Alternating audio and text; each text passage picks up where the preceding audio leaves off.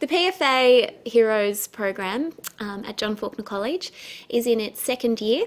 It's a mentor style program with four players from the Melbourne Heart soccer team coming in and working with our students in small groups once a week on a Wednesday afternoon. So we're working towards a football festival program and each week we cover issues such as respect, teamwork, success, commitment and we're working towards our football festival later in the year.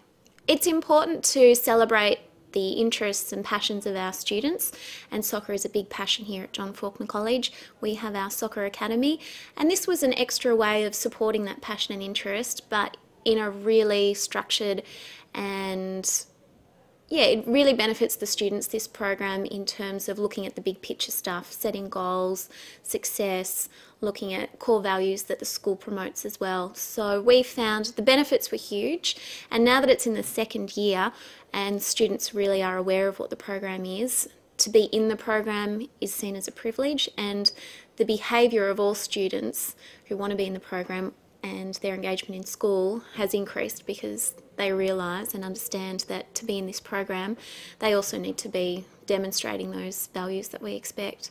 So it's been a win-win, a win for the students, number one, and a win for the school in terms of seeing those, um, those really positive behaviours in all of our students. The highlights of the Heroes program is the relationship you see form between the mentors and the students. It's that reality check for kids. They've got someone real in front of them who isn't a teacher because we wear off after a while our impact. We, we're certainly working so closely with the students. It's nice to have, I guess, an outsider who's familiar and the student can really relate to. So we find that that relationship really does help focus and settle students in all of their goals. We've got a few students who are very passionate about football as a, a, possible pathway, but even our other students really can take on board the lessons from our mentors and apply those to the different pathways that they've got planned for themselves. So we, yeah, it's so many benefits for our students. We find having that confidence to deal with a new adult is really important it's important that they see other professionals in their workplaces, and that's what the footballers are. So, to have those communication skills is really important. Um, and again, those relationships that form. Um, we've got one student, Taha, at the moment, who gives a, a weekly report on all the on all the players. So he'll give them a little printout on how they went on the weekend. he gets the photos of um, yeah the different news websites and so forth, and it's become a little bit of a, a theme that he's got. Um, giving that feedback to the players, so it goes both way. I don't know how much the um, the players take that on board in terms of um, feedback, but no, certainly that relationship, definitely. Absolutely. You can see from the body language, and I really love seeing that progress from the first session where the mentors are almost as nervous as the kids and then by the end of the session you've got a little bit of a rapport and they're starting to warm up. And then the second week it's the students greeting and walking up to their mentors. And given that they've been able to see their mentors on TV um, in the meantime or in the newspaper I think that adds to the relationship as well, having that media coverage. And by the third week, it's high fives and how you're going, and it's really lovely. It's a really warm place to be. It's very comprehensive, particularly the work booklet that the students have. They've got homework that they need to do, so it's something that is seen as it requires commitment and they're due two days after each session so we actually collect those and correct those on Friday. It covers many of the different VELs um, levels so all sorts of skills are covered and and showcased. And it's good because they tap into each an individual skill that students have um, but there's such a range. So it's not just a case of being really strong at soccer it's also being able to talk in front of a group and express yourself and lots of skills. Certainly teamwork and in preparing for our football festival students have had jobs assigned to them for example writing a letter to perhaps ask for some support with catering for our football festival day, sending out invitations to our primary schools. They've had to really take on board that that's what they're going to do, and we don't have time to cover that in the session, so they've got a responsibility to come back to the group next week prepared.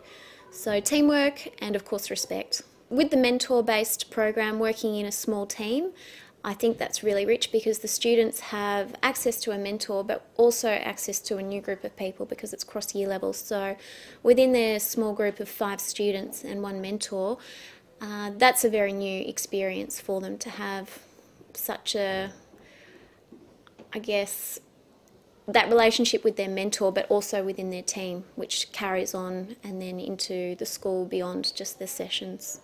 The students understand that there's certain criteria to be in the program and they they understand that when they apply to be in the program and there is a selection process in place not to discourage students but simply to encourage those things that we expect in the real world when you go for a job or you try to get into university. So we try to make it really authentic and we do see given that they have some individual tasks to do between the sessions such as their blog and the different individual responsibilities they take on to prepare for the festival day. Also, they know that if their behaviour is less than satisfactory between sessions, then they're at risk of, of not being in the sessions and the program. So that in itself is a nice, it's more of a carrot rather than the stick. It encourages the right behaviour.